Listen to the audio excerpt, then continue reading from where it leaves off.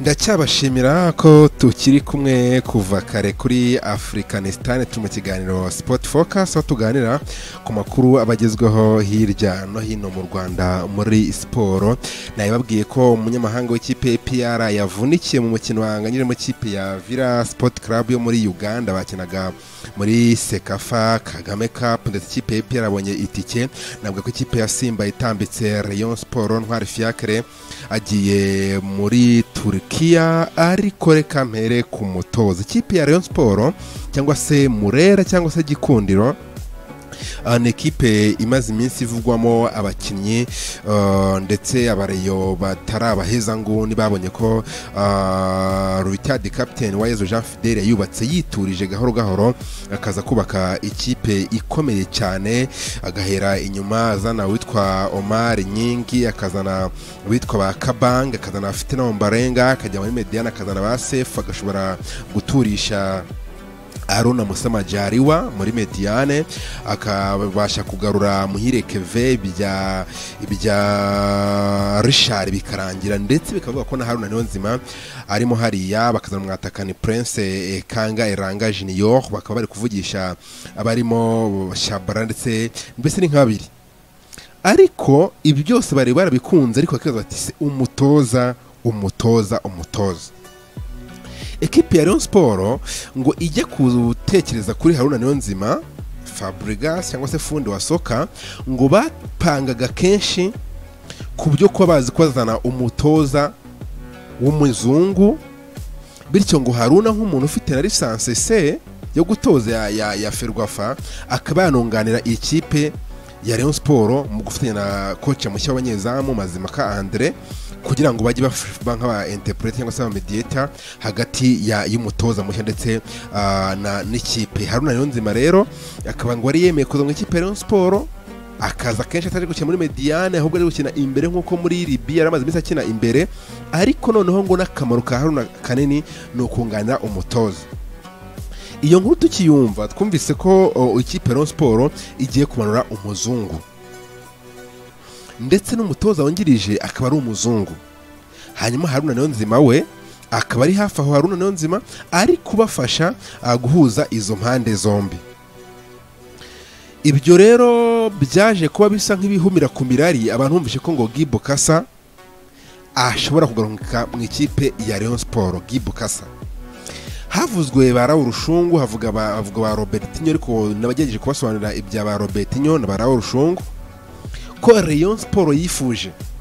Abatoza aho umwungiriza ndetse umutoza mukuru bagomba guhembwa atarengeje ibihumbi bitandatu by'idolari. Hanyuma uwitwa Robertinho we basabaga ibihumbi umunani wenyine. Rayon siporo itireka reka mu byibuke Rayon siporo muri ubwo Robertinho yazaga muri Rayon siporo yahembwaga ibihumbi bitatu. Arabwira ati se Rayon siporo mwaramfashije mungira uwo ndiwe ni byo narabakunze. Ariko murashaka ko yahembaga bitatu n'atanu murashaka kumpemba ari munsi yo mwampembaga nkiza nkishakisha koko? Ngo yaje kugira aho babwira ati mu ibihumbi bitandatu by'idolari ku kwezi hanyuma umwungiriza wanjye mu muhe bibiri.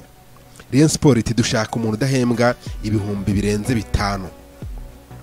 Witwa Robertinho rero na Rayon bipfa gutyo. Raoul Jean Pierre Shungu. Yakiye Rayon siporo ngo ibihumbi cumi na bibiri na sitafu yiwe. Ibyo na byo biranga. Rayon siporo rero birasa nk'aho iby'umuzungu ishobora kuba iri kubivamo ikaba igiye kuzana umutoza Gibu Kasa akayigarukamo ndetse bikomeje no kwanga nubwo bigoye ariko burya mu mupira ni nk'uburaya cyangwa nk'igisirikare umusirikare uri kurwana kuri iyi guverinoma iyo iyo barwanye imutsinze agatsindwa araza agahita akomeza urugamba akubaka igihugu yishimye. Niyo mpamvu rero bavuga ko uwitwa haringingo francis ashobora kugaruka muri Rayon siporo nubwo bisa nkaho bigoye. Reka kese y'umutoza mbe nyishyize ku ruhande cyangwa se naba ngo dosiye y'umutoza mbe nyishyize ku ruhande ahubwo mbashimire mwese mwagize ihitamo ryiza kuri afurikanisitani turi mu kiganiro sipoti fokasi muraba agaciro mwese ndasuhuza kabisa.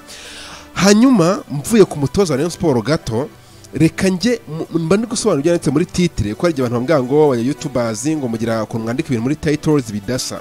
Biba bisa ibintu nandika hano. Ikipe ya simba sipoti karabu ngo yitambitse Rayon siporo gute? Ubu tuvugana ikipe ya simba iri muri uh, muri isimayira mu misiri ndetse imaze kugura abakinnyi cumi na babiri. Bose. Ariko ifite ikibazo cya mediyateri ukina nka purayimeka kubera ko twa wiri esombe andre onana bari bafite ni nk'aho yemeje kumurekura.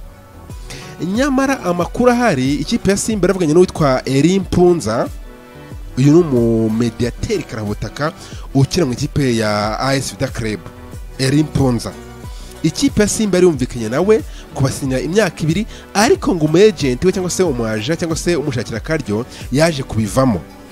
Ikipe rero ya, ya, ya simba iri gutekereza ku munyanigeria ukina muri uh, sporting logos ndetse n'umuvandimwe ukinira muri uganda. Abo babiri nibo ikipe ya simba iri gutekereza. Ngo byanze rero yakisubiraho igafata utwa andre onana ikamusubirana. Kandi onana ntabwo uwo muyobozi wa siporo uwo ari wese ngenda mwumva muvugaho ntawe ariko numvise numvise ko uh, abafana ubwabo ari bo bifuzaga uh, utwa andre onana ndetse byanashobokaga kuko bavuga ati dukeneye umupuremeka wa danje andre onana muri siporo aravugwa yahavuye neza ageze muri simba biranga bakavuga kuri cedric uh, bakavuga no kuri uh, haruna niyonzima ndetse na saido. Ibya ibya onana rero bisa nkaho bigoye ku ikipe ya simba uh, ntabwo ngo iramukuraho amaso bitewe n'uko uwo yashakaga erimpanzi uyu nguyu adahari. Ikipe rero ya simba iri muri um, isimera mu misiri ni ho nyine iri kwitegurira agomba kugaruka ije gukina. Umukino wa gicuti izakina kuri simba day ku itariki eshatu hazaba ari ku cyumweru bakina n'ikipe yitwa uh, APRFC kandi kuri uwo munsi munabyibuke neza ko ikipe ya Rayon Sport kuri stade amahoro nshya. Izaba yakiriye amakipe ikipe hagati ya Mamelodi Sundowns ndetse n'ikipe itwa Raja Casablanca. Ibyo ntabwo mbigarukaho cyane nubwo mbitindaho nababwiye uko bimeze byose. Ahubwo nkiri ku bijyanye n'imikino ya gicuti ya Rayon Sport ikipe ya Rayon Sport ifite match amicale the first ever football is back football yagarutse kabisa. Ikipe ya Rayon Sport gukina umukino wayo wa mbere na gicuti ku itariki esheshatu. Hategekimana souvenir souvere ati aperi oye.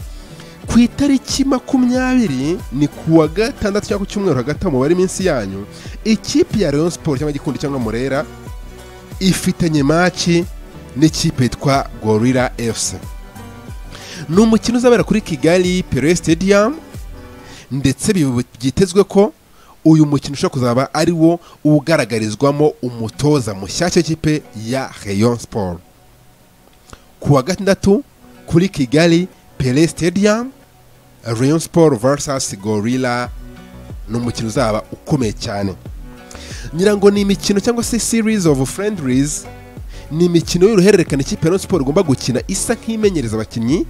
Nagiye ngarukaho baba umukongomani uh, elanga prince junior yaba umunyarwanda fitina mburenga yaba umunyasenegali omar gning yaba kabanga wavuye muri gorira yaba rishari bakuye muri muhazi yaba sefu wavuye muri kiyovu yaba haruna niyonzima yaba aruna musamajari navuga ngo nawe ni nkaho ari mushya ko ni ho agarutse yaba ndetse n'umwataka ah, namaze kuvuga ndetse n'abandi babiri bakiri mu ikipe ya Sport bagomba kuza.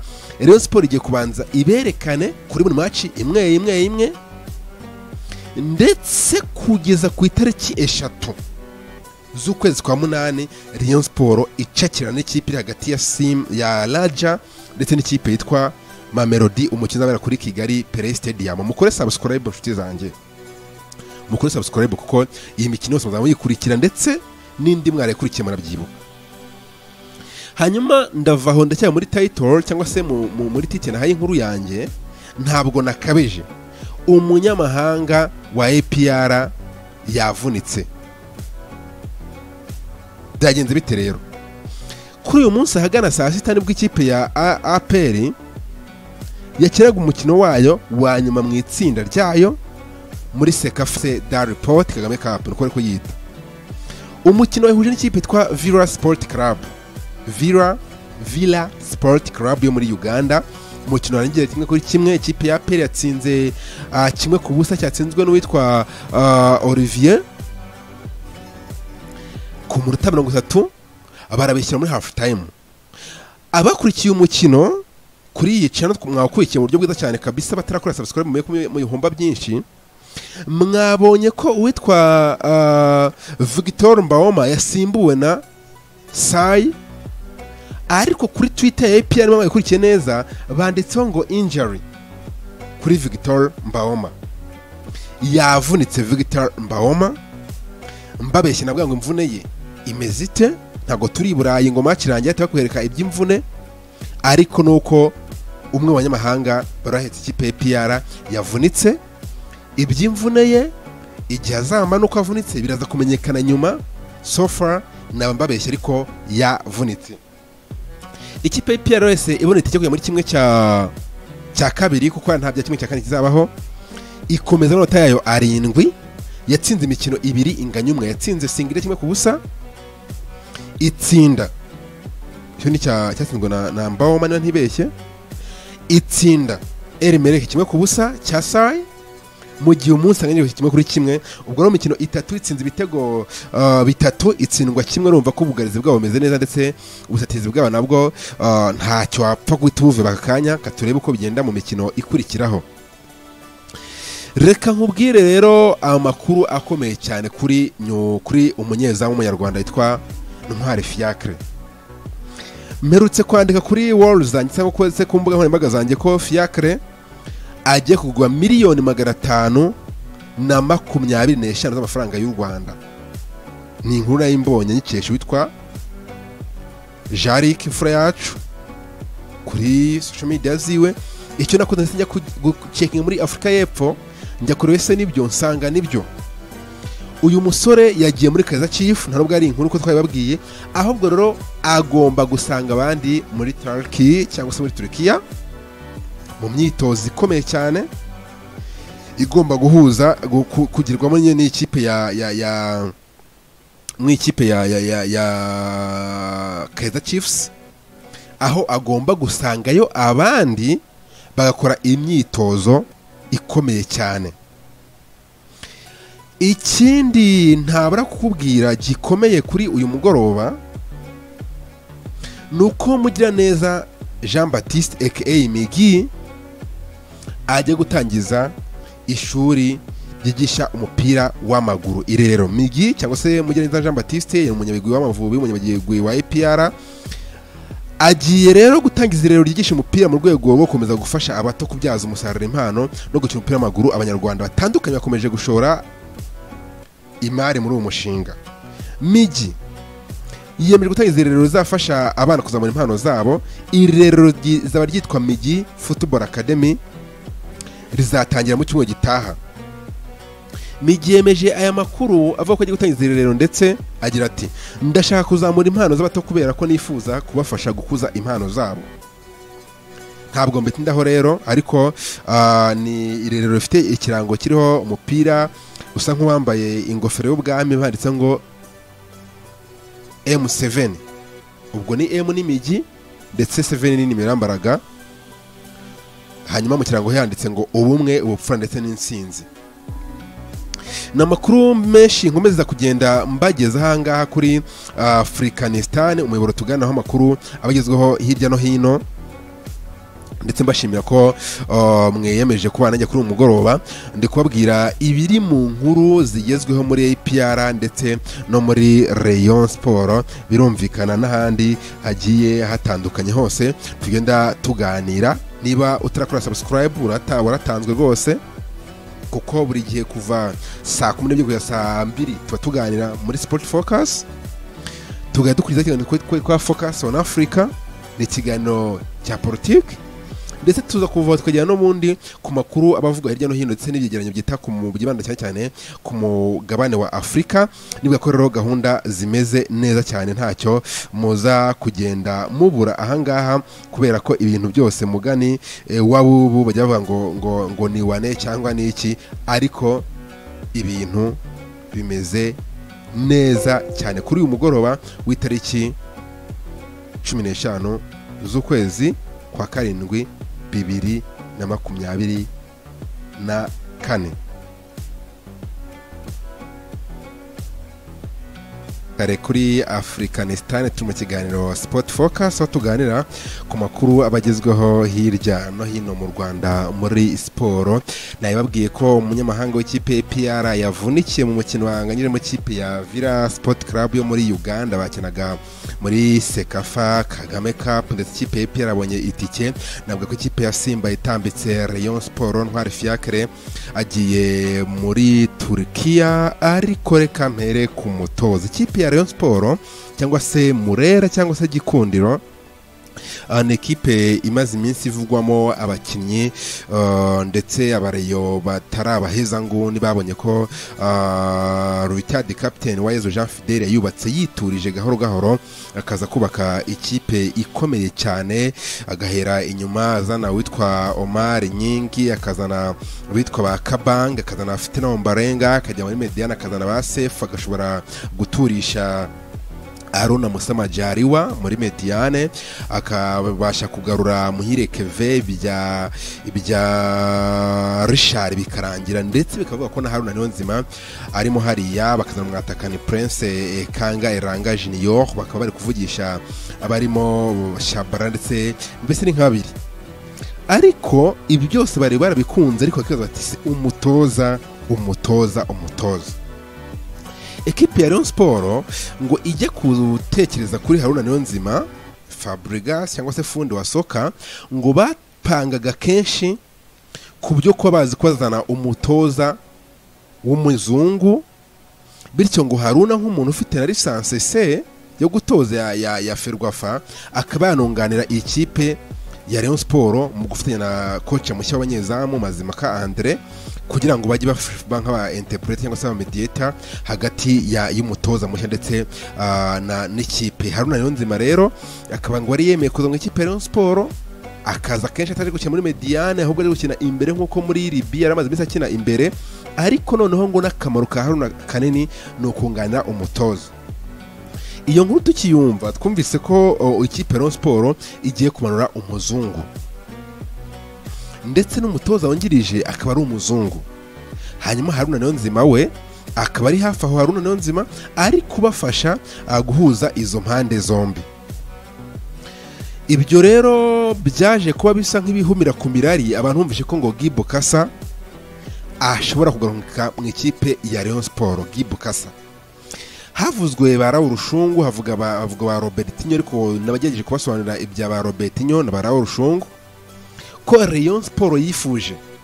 Abatoza aho umwungiriza ndetse n'umutoza mukuru bagomba guhembwa atarengeje ibihumbi bitandatu by'idolari. Hanyuma uwitwa robertinho we basabaga ibihumbi umunani wenyine. Rayon siporo iti reka reka mu byibuke Rayon siporo muri ubwo robertinho yazaga muri Rayon siporo yahembwaga ibihumbi bitatu. Arabwira ati se Rayon siporo mwaramfashije mungira uwo ndiwe ni byo narabakunze. Ariko murashaka ko yahembaga batatu n'atanu murashaka kumpemba ari munsi y'aho mwampembaga nkiza nkishakisha koko?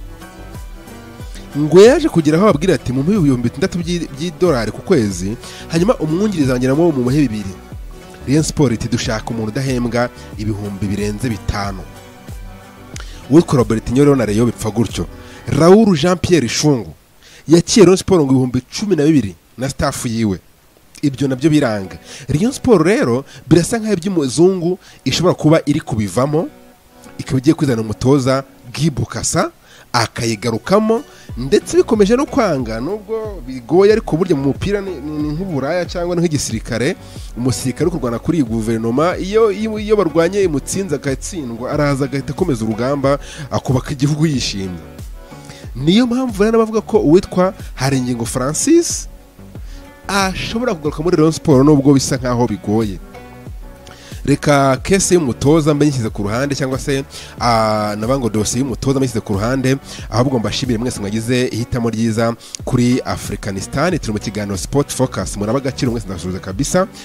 Hanyuma mvuye ku mutoza wa Rayon siporo gato reka njye mba ndi gusobanura ibyanditse muri titire ko hari igihe abantu bavuga ngo abanya yutubazi ngo mugira ukuntu mwandika ibintu muri tayitorozi bidasa. Biba bisa ibintu nandika hano. Ikipe ya simba sipoti karabu ngo yitambitse Rayon siporo gute? Ubu tuvugana ikipe ya simba iri muri muri isimayira mu misiri ndetse imaze kugura abakinnyi cumi na babiri. Bose. Ariko ifite ikibazo cya mediyateri ukina nka purayimeka kubera ko twa wiri esombe andre onana bari bafite ni nk'aho biyemeje kumurekura.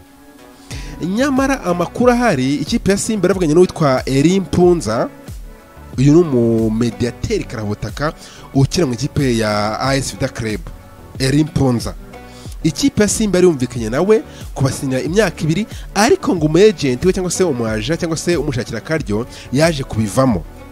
Ikipe rero ya, ya, ya, ya simba iri gutekereza ku munyanigeria ukina muri uh, sporting logos ndetse n'umuvandimwe ukina muri uganda. Abo babiri nibo ikipe ya simba iri gutekereza. Ngo byanze rero yakisubiraho igafata utwa andre onana ikamusubirana. Kandi onana ntabwo uwo muyobozi wa Rayon siporo uwo ari wese ngenda mwumva muvugaho ntawe ariko numvise numvise ko abafana ubwabo ari bo bifuzaga uwitwa andre onana ndetse byanashobokaga kuko baravuga ati dukeneye umupuremeka wa danje andre onana. Muri Rayon siporo aravugwa yahavuye neza ageze muri simba biranga bakavuga kuri cedric bakavuga no kuri uh, haruna niyonzima ndetse na saido. Ibya ibya onana rero bisa nkaho bigoye ku ikipe ya simba ah, ntabwo ngo iramukuraho amaso bitewe n'uko uwo yashakaga erimpanzi uyu nguyu adahari. Ikipe rero ya simba iri muri mu isimera mu misiri ni ho nyine iri kwitegurira aho igomba kugaruka ije gukina umukino wa gicuti izakina kuri simba day ku itariki eshatu. Hazaba ari ku cyumweru bakina n'ikipe yitwa uh, APRFC kandi kuri uwo munsi munabyibuke neza ko ikipe ya Rayon Sport kuri stade Amahoro nshya. Izaba yakiriye amakipe ikipe hagati ya Mamelodi Sundowns ndetse n'ikipe itwa Raja Casablanca. Ibyo ntabwo mbigarukaho cyane ntabwo mbitindaho nababwiye uko bimeze byose. Ahubwo nkiri ku bijyanye n'imikino ya gicuti ya Rayon Sport ikipe ya Rayon Sport ifite match amicale the first ever. Football is back. Football yagarutse kabisa. Ikipe Rayon Sport igiye gukina umukino wayo wa mbere na gishuti ku itariki esheshatu. Hategekimana souvenir souverain ati aperi oye. Ku itariki makumyabiri ni ku wa gatandatu cyangwa ku cyumweru hagati aho mubare iminsi yanyu ikipe ya Rayon Sport cyangwa gikundi cyangwa murera ifitanye maci n'ikipe yitwa gorilla fc ni umukino uzabera kuri kigali pere stadium. Ndetse byitezwe ko uyu mukino ushobora kuzaba ari wo ugaragarizwamo umutoza mushyashya w'ikipe ya Rayon Sport ku wa gatandatu kuri Kigali Pele Stadium Rayon Sport vs Gorilla ni umukino uzaba ukomeye cyane. Ngira ngo ni imikino cyangwa se series of friendlies ni imikino y'uruhererekane ikipe Rayon Sport igomba gukina isa nk'imenyereza abakinnyi nagiye ngarukaho baba umukongomani ah, elanga prince junior yaba umunyarwanda fitina mburenga yaba umunyasenegali omar gning yaba kabanga wavuye muri gorira yaba rishari bakuye muri muhazi yaba sefu wavuye muri kiyovu yaba haruna niyonzima yaba aruna musamajari we navuga nawe ni nkaho ari mushya kuko ni ho agarutse yaba ndetse n'umwataka ah, namaze kuvuga ndetse n'abandi babiri bakiri mu ikipe ya Sport bagomba kuza. Rayon Sport igiye kubanza iberekane kuri buri maci imwe imwe imwe ndetse kugeza ku itariki eshatu z'ukwezi kwa munani Rayon Sport icakira n'ikipe iri hagati ya sim ya Raja ndetse n'ikipe yitwa Mamelodi umukino uzabera kuri Kigali Pele Stadium. Mukore subscribe inshuti zanjye.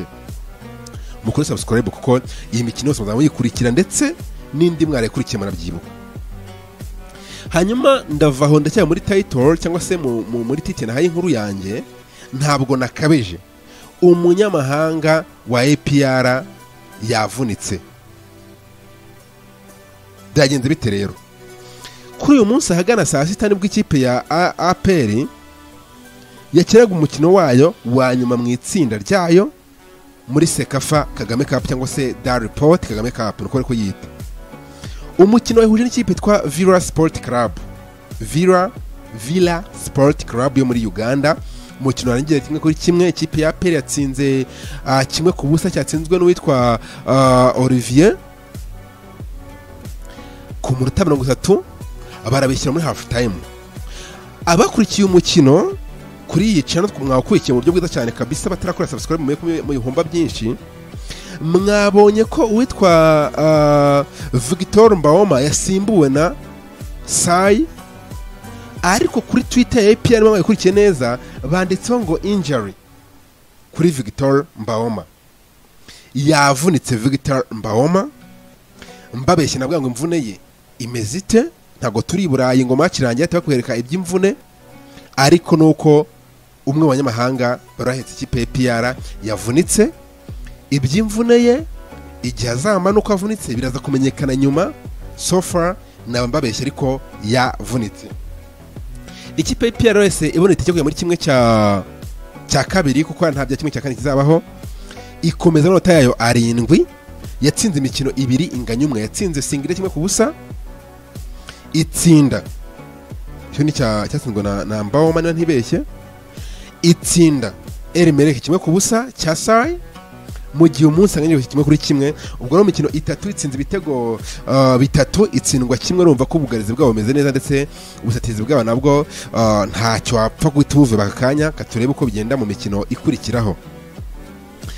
Reka nkubwire rero amakuru akomeye cyane kuri kuri umunyezamu w'umunyarwanda witwa ntwari fiacre.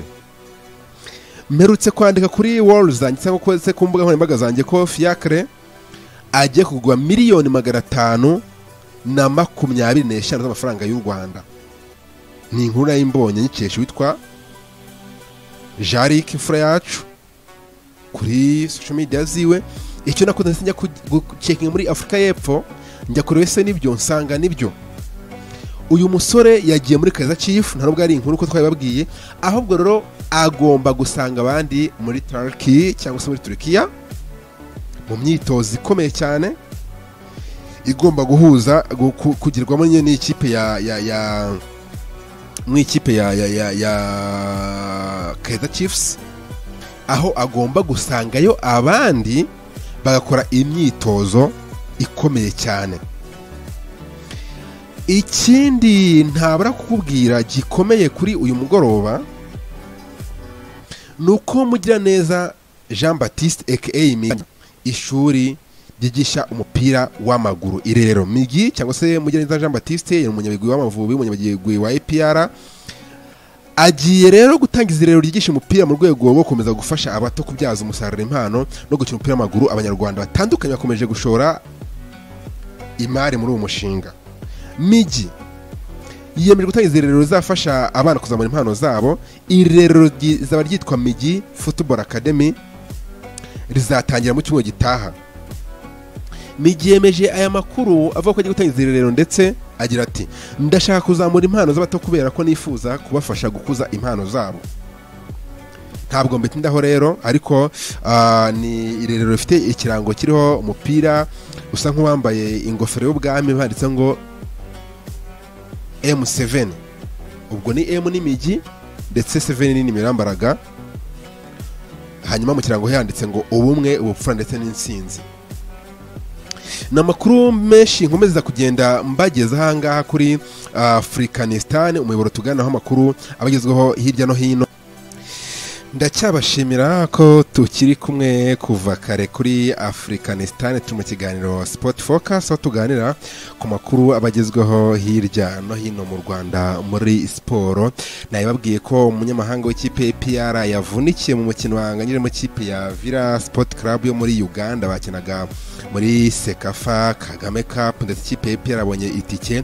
Navuga ko ikipe ya simba itambitse rayon sport ntwari fiacre agiye muri turukiya ariko reka mpere ku mutoza. Ikipe ya rayon sport cyangwa se murera cyangwa se gikundiro ni ekipe imaze iminsi ivugwamo abakinnyi uh, ndetse abareyo batari abahezanguni babonye ko uh, Ruyitadi captain wa Yezu Jean Fidele yubatse yiturije gahoro gahoro akaza kubaka ikipe ikomeye cyane agahera inyuma azana witwa Omar Nyingi akazana witwa ba Kabang akazana Fitina Ombarenga akajya muri Mediana akazana ba Sef agashobora guturisha aruna musamajariwa muri mediane akabasha kugarura muhire keve ibya rishari bikarangira ndetse bikavuga ko na haruna niyonzima arimo hariya bakazana mwatakani prince kanga eranga junior bakaba bari kuvugisha abarimo shabara ndetse mbese ni nka babiri ariko ibi byose bari barabikunze ariko bakibaza bati se umutoza umutoza umutoza.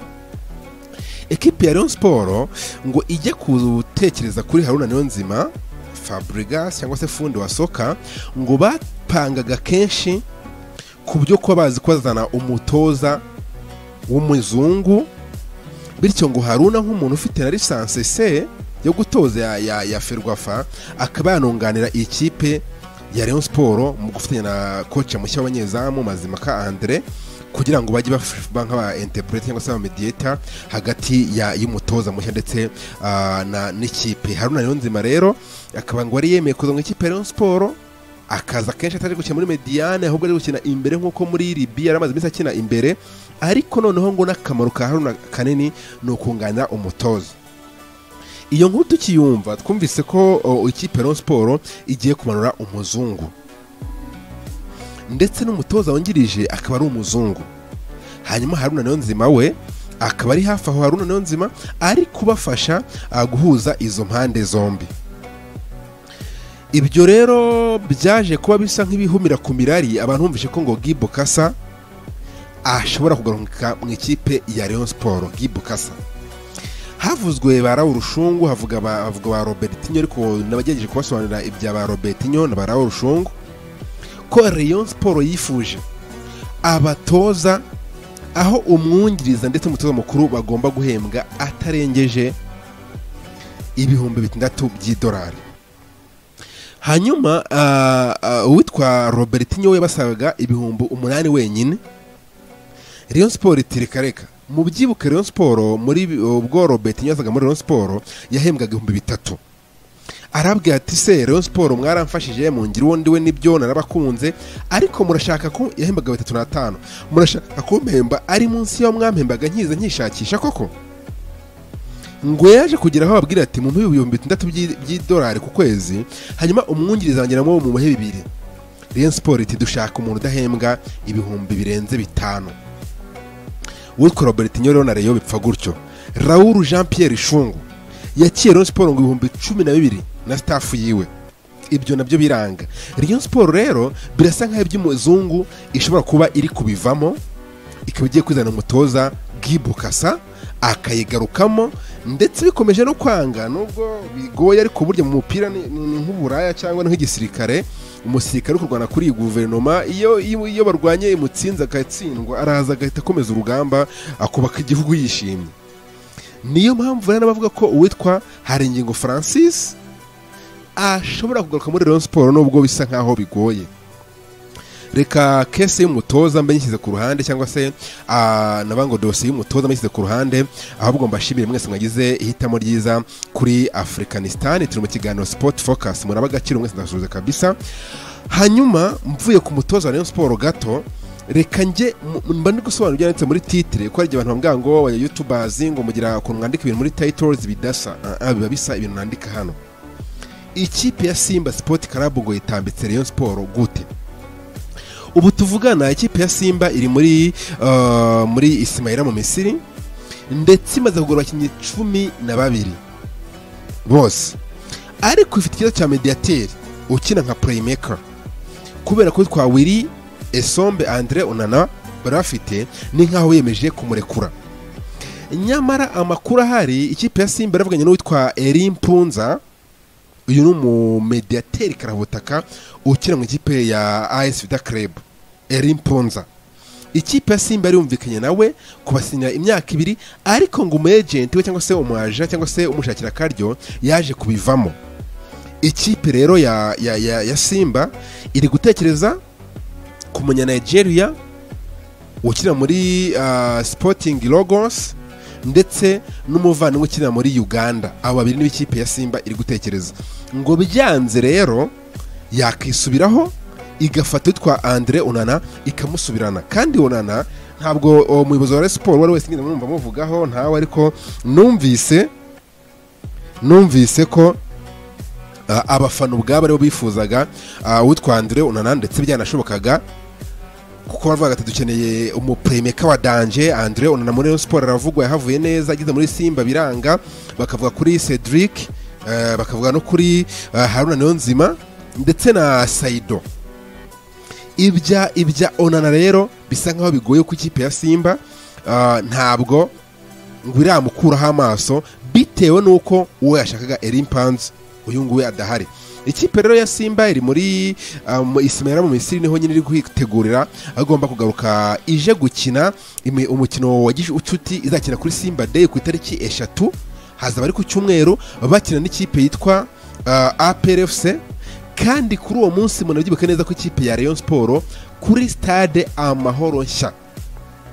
Izaba yakiriye amakipe ikipe hagati ya Mamelodi Sundowns ndetse n'ikipe itwa Raja Casablanca. Ibyo ntabwo mbigarukaho cyane ntabwo mbitindaho nababwiye uko bimeze byose. Ahubwo nkiri ku bijyanye n'imikino ya gicuti ya Rayon Sport ikipe ya Rayon Sport ifite match amicale the first ever football is back. Football yagarutse kabisa. Ikipe ya Rayon Sport yegukira umukino wayo wa mbere na gicuti ku itariki esheshatu. Hategekimana souvenir souvere ati aperi oye. Ku itariki makumyabiri ni ku wa gatandatu cyangwa ku cyumweru hagati aho mubare iminsi yanyu ikipe ya Rayon Sport cyangwa Gikundi cyangwa Murera ifitanye maci n'ikipe yitwa Gorilla FC ni umukino uzabera kuri Kigali Pele Stadium. Ndetse byitezwe ko uyu mukino ushobora kuzaba ari wo ugaragarizwamo umutoza mushyashya w'ikipe ya Rayon Sport ku wa gatandatu kuri Kigali Pele Stadium Rayon Sport vs Gorilla ni umukino uzaba ukomeye cyane. Ngira ngo ni imikino cyangwa se series of friendlies ni imikino y'uruhererekane ikipe ya Sport igomba gukina isa nk'imenyereza abakinnyi nagiye ngarukaho umukongomani ah, Elanga Prince Junior yaba umunyarwanda Fitina Mborenga yaba umunyasenegali Omar Gning yaba Kabanga wavuye muri Gorilla yaba Rishari bakuye muri Muhazi yaba Sefu wavuye muri Kiyovu yaba Haruna Niyonzima yaba Aruna Musamajari we navuga ngo nawe ni nkaho ari mushya ko ni ho agarutse yaba ndetse no mwataka ah, namaze kuvuga ndetse n'abandi babiri akiri mu ikipe ya Sport bagomba kuza. Rayon Sport igiye kubanza iberekane kuri buri match imwe imwe imwe ndetse kugeza ku itariki eshatu z'ukwezi kwa munani Rayon Sport icakira n'ikipe iri hagati ya sim ya Raja ndetse n'ikipe yitwa Mamelodi umukino uzabera kuri Kigali Pele Stadium. Mukore subscribe inshuti zanjye. Mukore subscribe kuko iyi mikino yose muzaba muyikurikira ndetse n'indi mwarekurikiye murabyibuka hanyuma ndava aho ndacyari muri title cyangwa se mu, mu, muri titi nahaye inkuru yanjye ntabwo nakabeje. Umunyamahanga wa APR yavunitse. Byagenze bite rero? Kuri uyu munsi ahagana saa sita ni bwo ikipe ya APR yakinaga umukino wayo wa nyuma mu itsinda ryayo. Muri sekafa kagame cup cyangwa se dar report kagame cup niko ari kuyita umukino wahuje n'ikipe yitwa villa sport club. Villa villa sport club yo muri uganda. Umukino warangiye kimwe kuri kimwe ikipe ya peri yatsinze ah, kimwe ku busa cyatsinzwe n'uwitwa ah, olivier. Ku munota mirongo itatu barabishyira muri half time abakurikiye umukino kuri iyi channel mwakurikiye mu buryo bwiza cyane kabisa batarakora subscribe mu bihumba byinshi. Mwabonye ko uwitwa ah, Victor Mbawoma yasimbuwe na Sai. Ariko kuri Twitter ya APR niba mwayikurikiye neza banditseho ngo injury kuri Victor Mbawoma yavunitse Victor Mbawoma mbabeshye nabwo ngo imvune ye imeze ite? Ntabwo turi i burayi ngo makirangiye ahita bakwereka iby'imvune. Ariko nuko umwe mu banyamahanga bari bahetse ikipe ya PR yavunitse iby'imvune ye igihe azamanuka avunitse biraza kumenyekana nyuma. So far naba mbabeshye ariko yavunitse. Ikipe ya PR wese ibona itike kujya muri kimwe cya kabiri kuko nta bya kimwe cya kane kizabaho. Ikomeza amanota yayo arindwi yatsinze imikino ibiri inganya umwe. Yatsinze singire kimwe ku busa itsinda. Icyo ni cya- cyatsinzwe na, na mbawoma niba ntibeshye itsinda erimereke kimwe ku busa cya sayi mu gihe umunsi anganya kimwe kuri kimwe ubwo rero imikino itatu itsinze ibitego uh, bitatu itsindwa kimwe urumva ko ubugarizi bwabo bumeze neza ndetse ubusatizi bwabo nabwo uh, ntacyo wapfa guhita ubuve aka kanya katurebe uko bigenda mu mikino ikurikiraho. Reka nkubwire rero amakuru akomeye cyane kuri kuri umunyezamu w'umunyarwanda witwa ntwari fiacre. Mperutse kwandika kuri wall zanjye cyangwa se ku mbuga nkoranyambaga zanjye ko fiacre agiye kugura miliyoni magana atanu na makumyabiri n'eshanu z'amafaranga y'u rwanda. Ni inkuru na yo imbonye nyikesha witwa jarike imfura yacu kuri social media ziwe. Icyo nakoze njya gucekinga muri afurika y'epfo njya kureba ese ni byo nsanga ni byo. Uyu musore yagiye muri kaza chief nta nubwo ari inkuru uko twabibabwiye ahubwo rero agomba gusanga abandi muri Turkey cyangwa se muri Turkiya mu myitozo ikomeye cyane igomba guhuza gu- ku- kugirwamo nyine n'ikipe ya ya ya mu ikipe ya ya ya ya Kaizer Chiefs aho agomba gusangayo abandi bagakora imyitozo ikomeye cyane. Ikindi ntabura kukubwira gikomeye kuri uyu mugoroba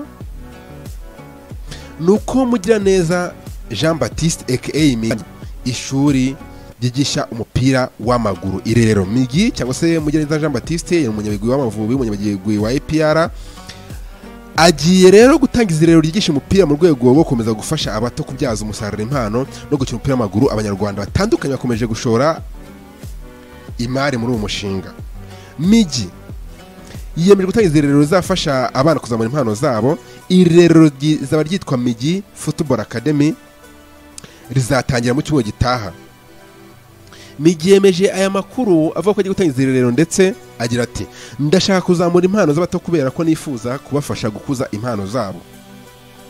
Ntabwo mbitindaho rero ariko ah, ni irerero rifite ikirango kiriho umupira usa nk'uwambaye ingofero y'ubwami banditse ngo M7 ubwo ni M n'imigi ndetse 7 ni nimero yambaraga hanyuma mu kirango handitse ngo ubumwe ubupfura ndetse n'insinzi ni amakuru menshi nkomeza kugenda mbageza ahangaha kuri afurikanisitani umuyoboro tuganaho amakuru abagezweho hirya no hino.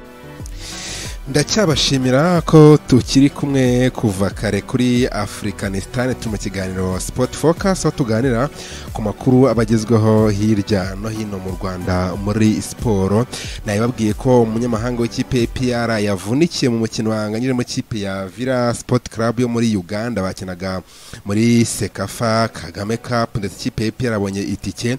Nabwo ko ikipe ya simba itambitse rayon sport ntwari fiacre agiye muri Turkiya ariko reka mpere ku mutoza. Ikipe ya Rayon Sport cyangwa se Murera cyangwa se Gikundiro ni ekipe imaze iminsi ivugwamo abakinnyi uh, ndetse abareyo batari abahezanguni babonye ko uh, Rutadi captain wa Yezu Jean Fidele yubatse yiturije gahoro gahoro akaza kubaka ikipe ikomeye cyane agahera inyuma azana witwa Omar Nyingi akazana witwa ba Kabang akazana Fitina Ombarenga akajya muri Mediana akazana ba Sef agashobora guturisha Aruna Musama Jariwa muri Mediane akabasha kugarura muhire Keve ibya ibya Richard bikarangira ndetse bikavuga ko na Haruna Niyonzima arimo hariya bakazana mwatakani Prince eh, Kanga Eranga Junior bakaba bari kuvugisha abarimo Shabara ndetse mbese ni nk'abiri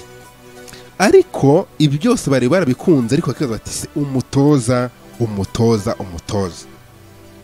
Ekipi ya Rayon Sport ngo ijye gutekereza kuri Haruna Niyonzima Fabregas cyangwa se fundi wa soka ngo bapangaga kenshi ku byo kuba bazi ko umutoza w'umuzungu bityo ngo Haruna nk'umuntu ufite na lisansi se yo gutoza ya, ya, Ferwafa akaba yanunganira iyi kipe ya Rayon Sport mu gufatanya na koca mushya w'abanyezamu Mazimaka Andre.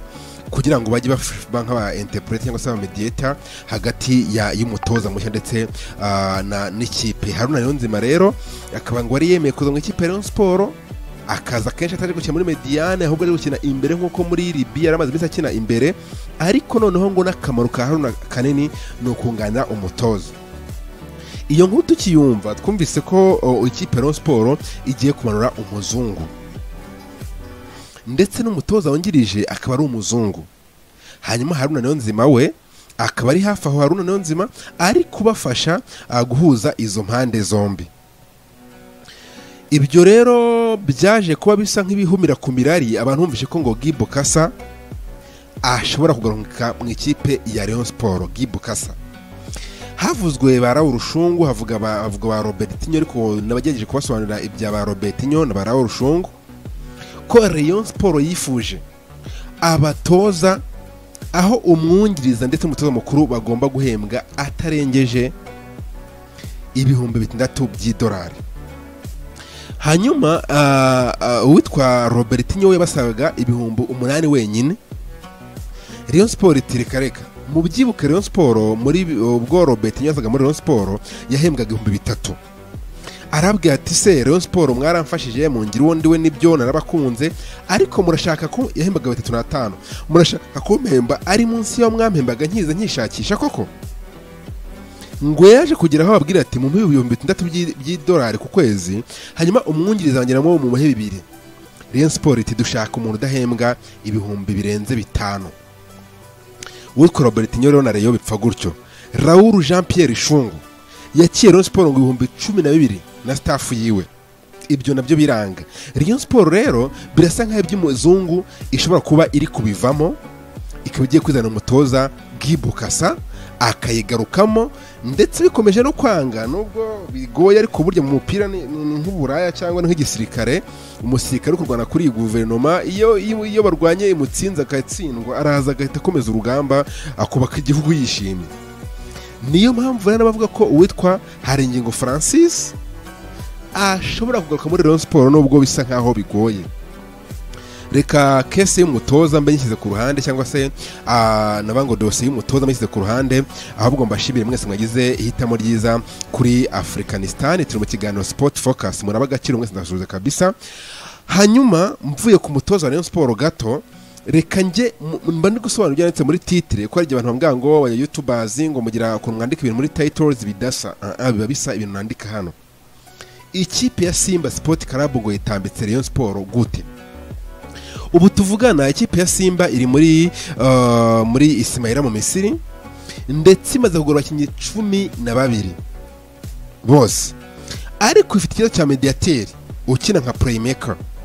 Kubera ko twa Willy Esombe Andre Onana bari bafite ni nkaho yemeje kumurekura. Nyamara amakuru ahari ikipe ya Simba yaravuganye n'uwitwa Erin Punza uyu ni umumediateri karabutaka ukina mu ikipe ya AS Vita Club Erin Punza ikipe ya Simba yarumvikanye nawe kubasinyira imyaka ibiri ariko ngo umu agent we cyangwa se umuaja cyangwa se umushakira akaryo yaje kubivamo. Ikipe rero ya, ya, ya, ya Simba iri gutekereza ku munya Nigeria ukina muri uh, Sporting Lagos ndetse n'umuvandimwe ukina muri Uganda. Abo babiri nibo ikipe ya Simba iri gutekereza.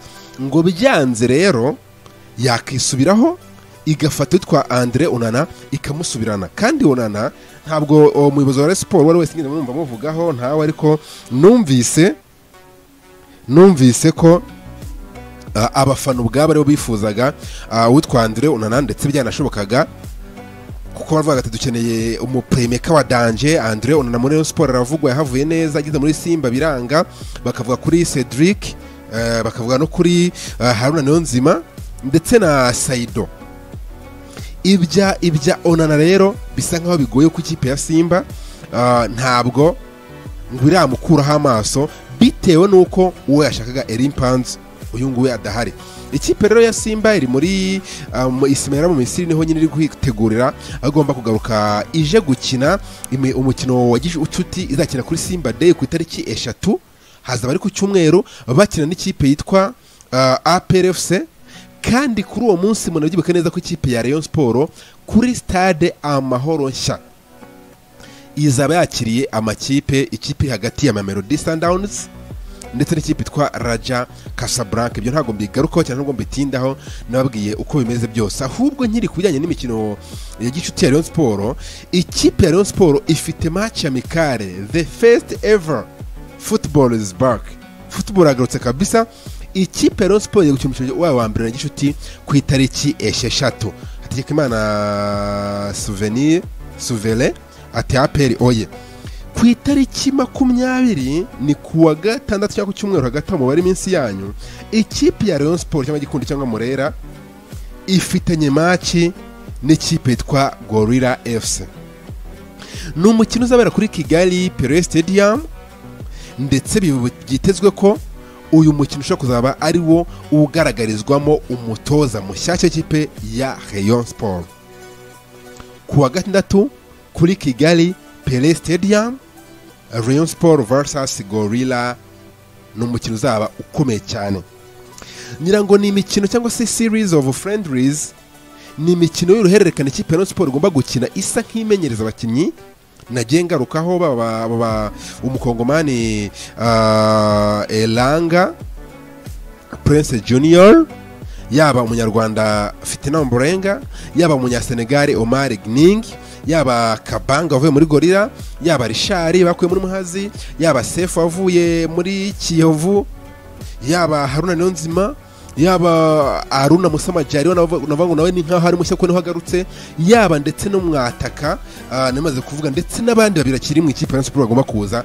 Rayon Sport igiye kubanza iberekane kuri buri match imwe imwe imwe ndetse kugeza ku itariki eshatu z'ukwezi kwa munani Rayon Sport icakira n'ikipe iri hagati ya sim ya Raja ndetse n'ikipe yitwa Mamelodi umukino uzabera kuri Kigali Pele Stadium. Mukore subscribe inshuti zanjye. Mukore subscribe kuko iyi mikino yose muzaba muyikurikira ndetse n'indi mwarekurikiye murabyibuka. Hanyuma ndavaho ndacyari muri title cyangwa se mu, mu, muri titi nahaye inkuru yanjye ntabwo nakabije. Umunyamahanga wa APR yavunitse. Byagenze bite rero? Kuri uyu munsi ahagana saa sita ni bwo ikipe ya APR yakinaga umukino wayo wa nyuma mu itsinda ryayo muri sekafa kagame cup cyangwa se dar report kagame cup niko ariko yita. Umukino wahuje n'ikipe yitwa villa sport club. Villa villa sport club yo muri uganda. Umukino warangiye kimwe kuri kimwe ikipe ya peri yatsinze ah, kimwe ku busa cyatsinzwe n'uwitwa ah, olivier. Ku munota mirongo itatu barabishyira muri half time abakurikiye umukino kuri iyi channel mwakurikiye mu buryo bwiza cyane kabisa batarakora subscribe mu bihumba byinshi. Mwabonye ko uwitwa uh, Victor Mbawoma yasimbuwe na Sai. Ariko kuri Twitter ya APR niba mwayikurikiye neza banditseho ngo injury kuri Victor Mbawoma yavunitse Victor Mbawoma mbabeshye nabwo ngo imvune ye imeze ite? Ntabwo turi i Burayi ngo makirangiye ahita bakwereka iby'imvune. Ariko nuko umwe mu banyamahanga barahetse ikipe ya PR yavunitse iby'imvune ye igihe azamanuka avunitse biraza kumenyekana nyuma so far naba mbabeshya ariko yavunitse. Ikipe ya PR wese ibona itike kujya muri kimwe cya kabiri kuko nta bya kimwe cya kane kizabaho ikomeza amanota yayo arindwi yatsinze imikino ibiri inganya umwe yatsinze singire kimwe ku busa itsinda. Icyo ni cya- cyatsinzwe na, mbawoma niba ntibeshye. Itsinda. Erimereke kimwe ku busa cya sai mu gihe umunsi anganya kimwe kuri kimwe ubwo rero imikino itatu itsinze ibitego uh, bitatu itsindwa kimwe urumva ko ubugarizi bwabo bumeze neza ndetse ubusatizi bwabo nabwo uh, ntacyo wapfa guhita ubuve aka kanya katurebe uko bigenda mu mikino ikurikiraho. Reka nkubwire rero amakuru akomeye cyane kuri kuri umunyezamu w'umunyarwanda witwa ntwari fiacre. Mperutse kwandika kuri wall zanjye cyangwa se ku mbuga nkoranyambaga zanjye ko fiacre agiye kugura miliyoni magana atanu na makumyabiri n'eshanu z'amafaranga y'u rwanda. Ni inkuru na yo imbonye nyikesha witwa jarike imfura yacu kuri social media ziwe. Icyo ndetse njya gucekinga muri afurika y'epfo njya kureba ese ni byo nsanga ni byo. Uyu musore yagiye muri kaza chief nta nubwo ari inkuru ko twabibabwiye ahubwo rero agomba gusanga abandi muri Turkey cyangwa se muri Turkiya mu myitozo ikomeye cyane igomba guhuza gu- ku- kugirwamo n'ikipe ya ya ya mu ikipe ya ya ya ya Kaizer Chiefs aho agomba gusangayo abandi bagakora imyitozo ikomeye cyane. Ikindi ntabura kukubwira gikomeye kuri uyu mugoroba ni uko mugiraneza jean batiste aka ishuri ryigisha umupira w'amaguru irerero. Migi cyangwa se mugiraneza jean batiste umunyabigwi w'amavubi umunyabigwi wa epr agiye rero gutangiza irerero ryigisha umupira mu rwego rwo gukomeza gufasha abato kubyaza umusaruro impano no gukina umupira w'amaguru. Abanyarwanda batandukanye bakomeje gushora imari muri uwo mushinga. Migi. Yiyemeje gutangiza irerero rizafasha abana kuzamura impano zabo iri rerero rizaba ryitwa migi football academy rizatangira mu cyumweru gitaha. Migi yemeje aya makuru avuga ko agiye gutangiza irerero ndetse agira ati ndashaka kuzamura impano z'abato kubera ko nifuza kubafasha gukuza impano zabo. Ntabwo mbitindaho rero ariko ah, ni irerero rifite ikirango kiriho umupira usa nk'uwambaye ingofero y'ubwami banditse ngo M7 ubwo ni M n'imigi ndetse 7 ni nimero yambaraga hanyuma mu kirango handitse ngo ubumwe ubupfura ndetse n'insinzi ni amakuru menshi nkomeza kugenda mbageza ahangaha kuri afurikanisitani umuyoboro tuganaho amakuru abagezweho hirya no hino. Ndacyabashimira ko tukiri kumwe kuva kare kuri afurikanisitani turi mu kiganiro sipoti fokasi aho tuganira ku makuru abagezweho hirya no hino mu rwanda muri siporo nabibabwiye ko umunyamahanga w'ikipe APR yavunikiye mu mukino wanganyije mu kipe ya vira sipoti karabu yo muri uganda. Bakinaga muri sekafa kagame kapu ndetse ikipe ya APR yabonye itike. Nabwo ko ikipe ya simba itambitse rayon siporo ntwari fiacre agiye muri turikiya ariko reka mpere ku mutoza. Ikipe ya rayon siporo cyangwa se murera cyangwa se gikundiro ni ekipe imaze iminsi ivugwamo abakinnyi ah, ndetse abareyo batari abahezanguni babonye ko rutadi kapiteni wa yezu jean fidele yubatse yiturije gahoro gahoro akaza kubaka ikipe ikomeye cyane agahera inyuma azana uwitwa omar nyingi akazana uwitwa ba kabang akazana afite na ombarenga akajya muri mediyani akazana ba sefu agashobora guturisha aruna musama jariwa muri mediane akabasha kugarura muhire keve ibya rishari bikarangira ndetse bikavuga ko na haruna niyo nzima arimo hariya bakazana umwatakani prince eh, kanga eranga junior bakaba bari kuvugisha abarimo shabara ndetse mbese ni nka babiri ariko ibi byose bari barabikunze ariko bakibaza bati se umutoza umutoza umutoza.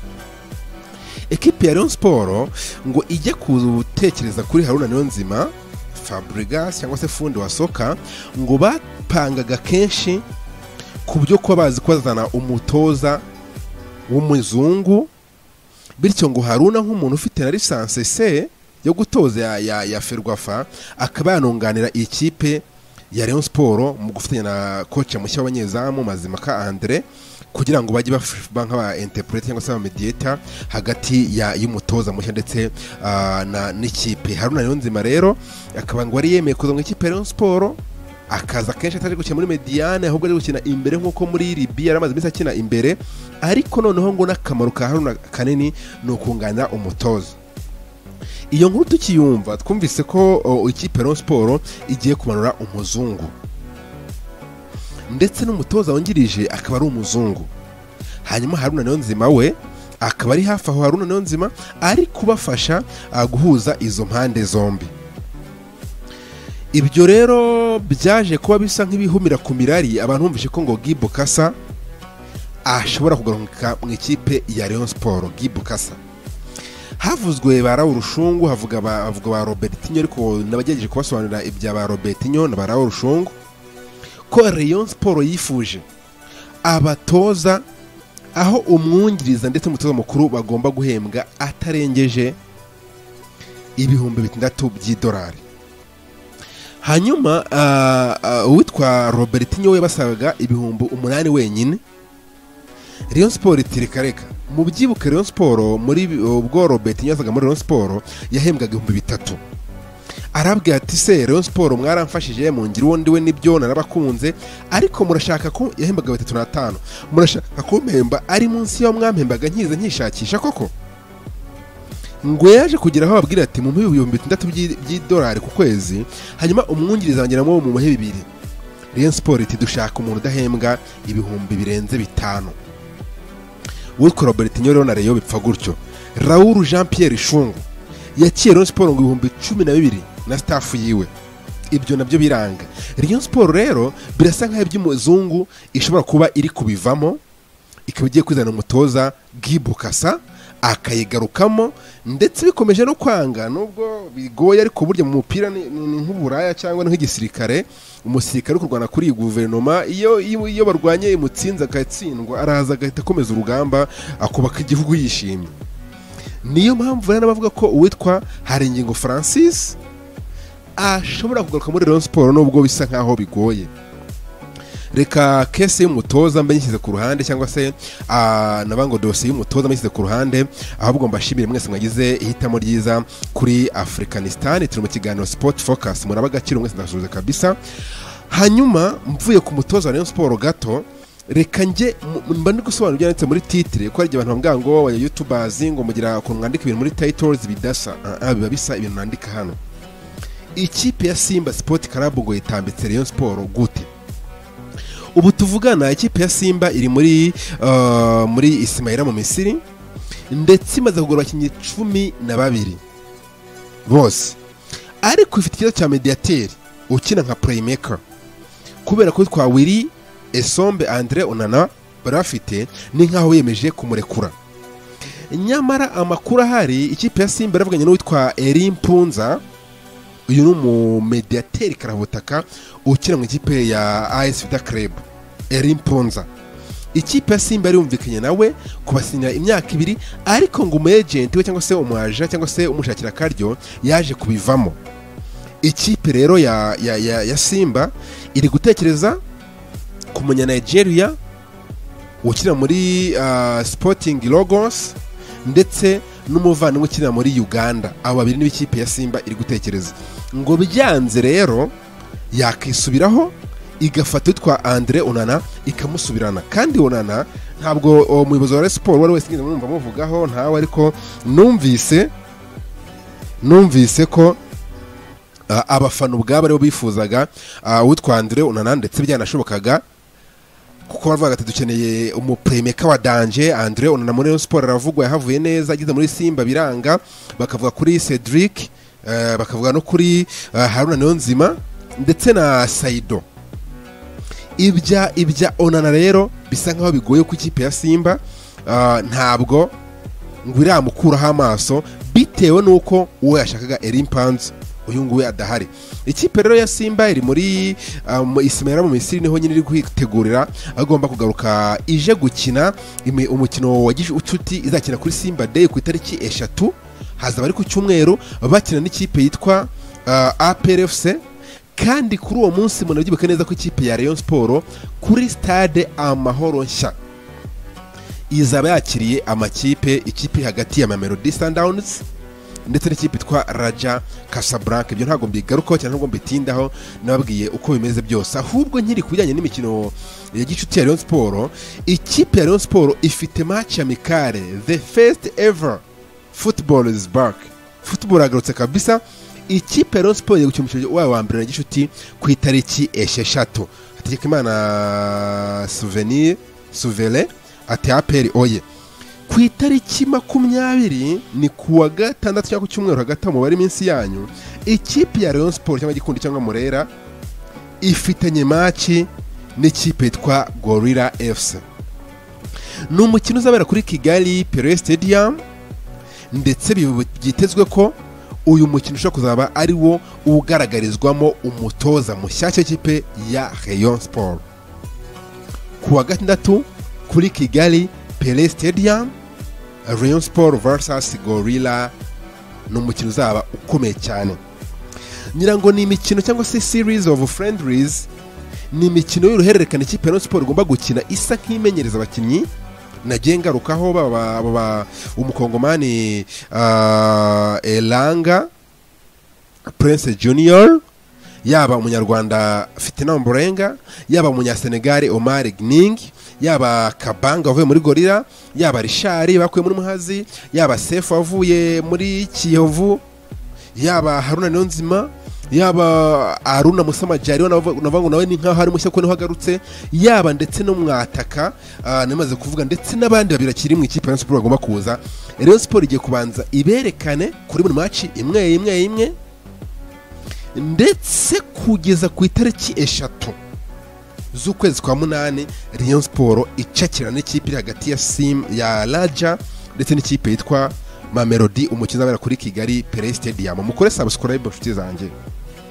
Mukore subscribe kuko iyi mikino yose muzaba muyikurikira ndetse n'indi mwarekurikiye murabyibuka hanyuma ndavaho ndacyari muri title cyangwa se mu- mu- muri titi nahaye inkuru yanjye ntabwo nakabije umunyamahanga wa APR yavunitse.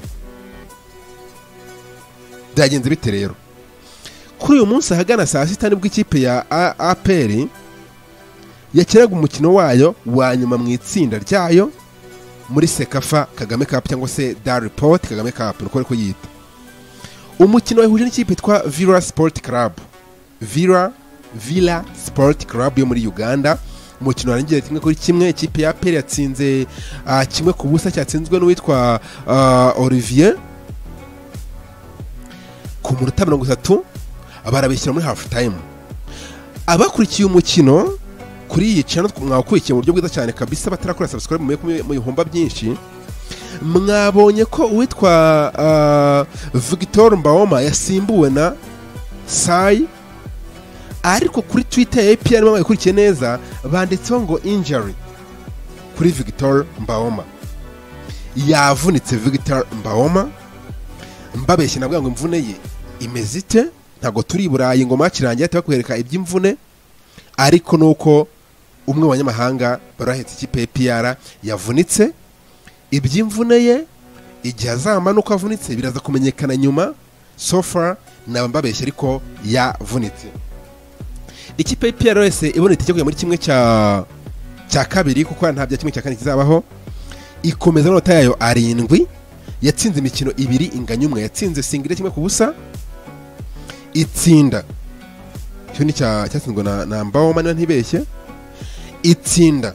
Erimereke kimwe ku busa cya sayi mu gihe umunsi anganya kimwe kuri kimwe ubwo rero imikino itatu itsinze ibitego uh, bitatu itsindwa kimwe urumva ko ubugarizi bwabo bumeze neza ndetse ubusatizi bwabo nabwo uh, ntacyo wapfa guhita ubuve aka kanya katurebe uko bigenda mu mikino ikurikiraho. Reka nkubwire rero amakuru akomeye cyane kuri kuri umunyezamu w'umunyarwanda witwa ntwari fiacre. Mperutse kwandika kuri wall zanjye cyangwa se ku mbuga nkoranyambaga zanjye ko fiacre agiye kugura miliyoni magana atanu na makumyabiri n'eshanu z'amafaranga y'u rwanda. Ni inkuru na yo imbonye nyikesha witwa jarike imfura yacu kuri social media ziwe. Icyo ndetse njya gucekinga muri afurika y'epfo njya kure wese ni byo nsanga ni byo. Uyu musore yagiye muri kaza chief nta nubwo ari inkuru ko twabibabwiye ahubwo rero agomba gusanga abandi muri Turkey cyangwa se muri Turkiya mu myitozo ikomeye cyane igomba guhuza gu- ku- kugirwamo nyine n'ikipe ya ya ya mu ikipe ya ya ya ya Kaizer Chiefs aho agomba gusangayo abandi bagakora imyitozo ikomeye cyane. Ikindi ntabura kukubwira gikomeye kuri uyu mugoroba ni uko mugiraneza jean batiste aka ishuri ryigisha umupira w'amaguru irerero. Migi cyangwa se mugiraneza jean batiste ni umunyabigwi w'amavubi umunyabigwi wa apr agiye rero gutangiza irerero ryigisha umupira mu rwego rwo gukomeza gufasha abato kubyaza umusaruro impano no gukina umupira w'amaguru. Abanyarwanda batandukanye bakomeje gushora imari muri uwo mushinga.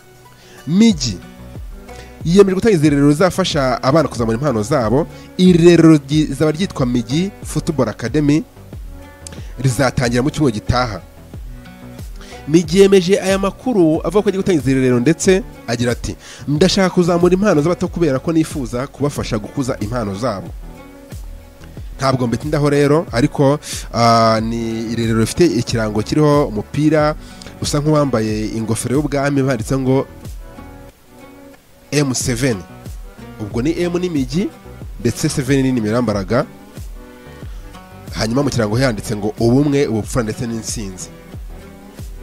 Ni amakuru menshi nkomeza kugenda mbageza ahangaha kuri afurikanisitani umuyoboro tuganaho amakuru abagezweho hirya no hino. Ndacyabashimira ko tukiri kumwe kuva kare kuri afurikanisitani turi mu kiganiro sipoti fokasi aho tuganira ku makuru abagezweho hirya no hino mu rwanda muri siporo nabibabwiye ko umunyamahanga w'ikipe pr yavunikiye mu mukino wanganyije mu kipe ya vira sipoti karabu yo muri uganda. Bakinaga muri sekafa kagame kapu ndetse ikipe ya pr abonye itike.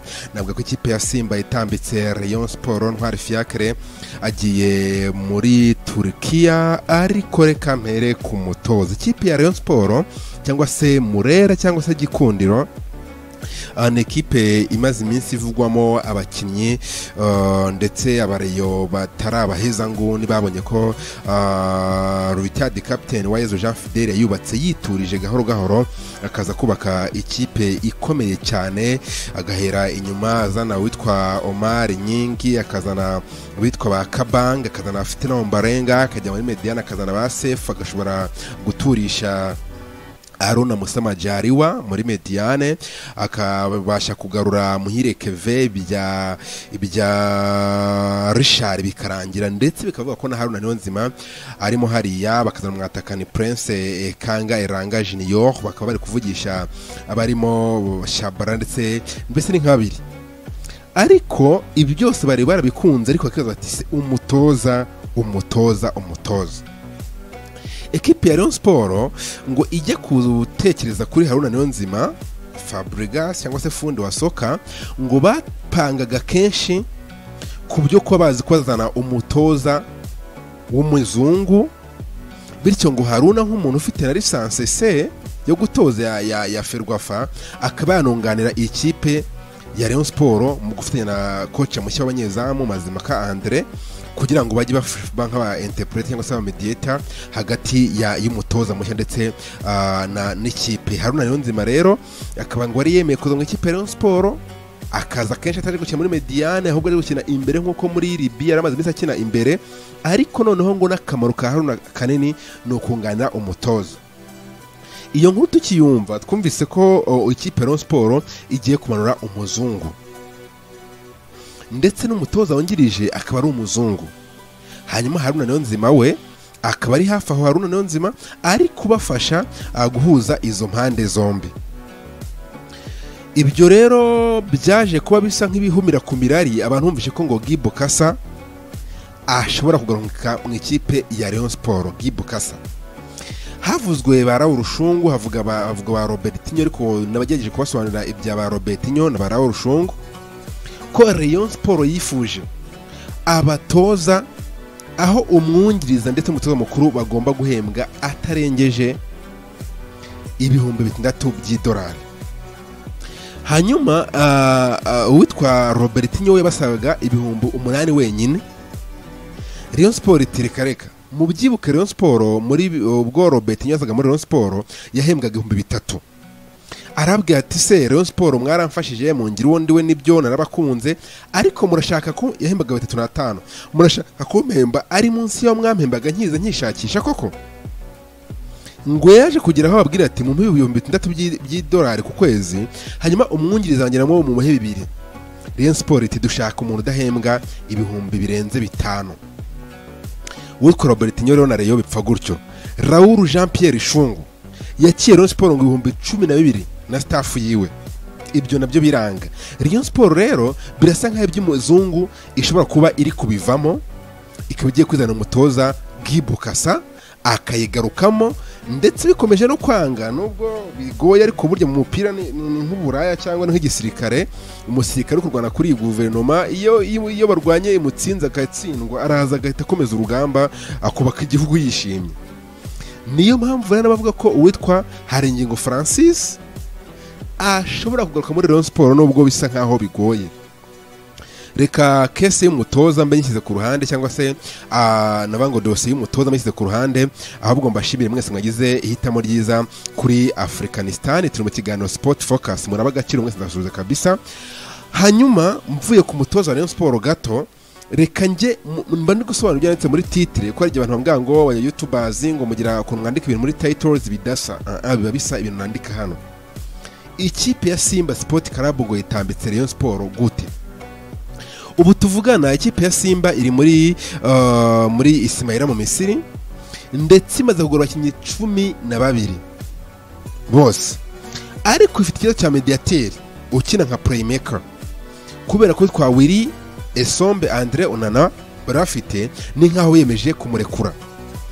Nyamara amakuru ahari ikipe ya simba yaravuganye n'uwitwa eri mpunza uyu ni umumediyateri karabutaka ukina mu ikipe ya as vita club eri mpunza ikipe ya simba yari yumvikanye nawe kubasinyira imyaka ibiri ariko ngo umu agent we cyangwa se umwaja cyangwa se umushakira akaryo yaje kubivamo. Ikipe rero ya, ya, ya, ya simba iri gutekereza ku munyanigeria ukina muri uh, sporting logos ndetse n'umuvuni w'ikipe ya simba iri gutekereza.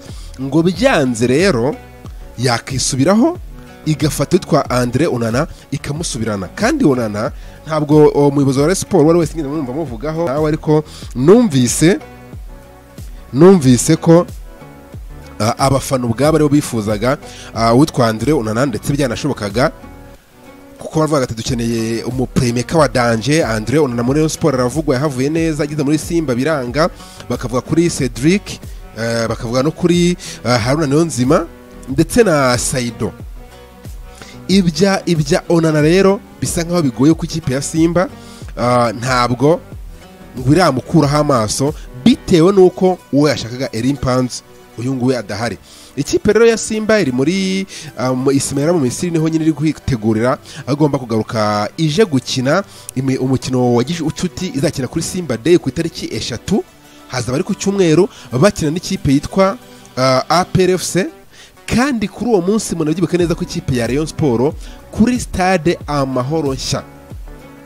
Izaba yakiriye amakipe ikipe hagati ya Mamelodi Sundowns ndetse n'ikipe itwa Raja Casablanca. Ibyo ntabwo mbigarukaho cyane ntabwo mbitindaho nababwiye uko bimeze byose. Ahubwo nkiri ku bijyanye n'imikino ya gicuti ya Rayon Sport ikipe ya Rayon Sport ifite match amicale the first ever football is back football yagarutse kabisa.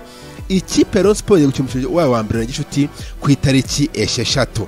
Hategekimana souvenir souvere ati aperi oye. Ku itariki makumyabiri ni ku wa gatandatu cyangwa ku cyumweru hagati aho mubare iminsi yanyu ikipe ya Rayon Sport cyangwa gikundi cyangwa murera ifitanye maci n'ikipe yitwa gorilla fc ni umukino uzabera kuri kigali pere stadium ndetse byitezwe ko uyu mukino ushobora kuzaba ari wo ugaragarizwamo umutoza mushyashya w'ikipe ya Rayon Sport. Ku wa gatandatu kuri Kigali Pele Stadium Rayon Sport vs Gorilla ni umukino uzaba ukomeye cyane. Ngira ngo ni imikino cyangwa se series of friendlies ni imikino y'uruhererekane ikipe Rayon Sport igomba gukina isa nk'imenyereza abakinnyi nagiye ngarukaho umukongomani ah, elanga prince junior yaba umunyarwanda fitina mburenga yaba umunyasenegali omar gning yaba kabanga wavuye muri gorira yaba rishari bakuye muri muhazi yaba sefu wavuye muri kiyovu yaba haruna niyonzima yaba aruna musamajari we navuga ngo nawe ni nkaho ari mushya kuko ni ho agarutse yaba ndetse no mwataka ah, namaze kuvuga ndetse n'abandi babiri bakiri mu ikipe ya siporo bagomba kuza. Rayon siporo igiye kubanza iberekane kuri buri maci imwe imwe imwe ndetse kugeza ku itariki eshatu z'ukwezi kwa munani Rayon siporo icakira n'ikipe iri hagati ya sim ya raja ndetse n'ikipe yitwa mamelodi umukino uzabera kuri kigali pere stadium.